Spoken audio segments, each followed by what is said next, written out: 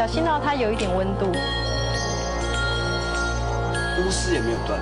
好，再来，请你们想象一下，把你们身上所有的负面的情绪、所有的不安、所有的困惑、所有的争吵、眼泪、冲突，通通集中在灯泡上面，用心感受它。一切就会随着灯泡的破灭而消失。谢谢各位，我是瓜子。